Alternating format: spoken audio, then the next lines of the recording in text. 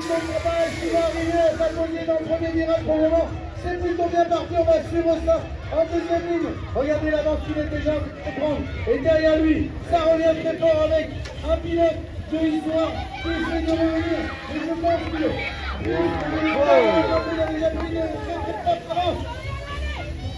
La troisième place, c'est le pilote également de Jacques Pierre.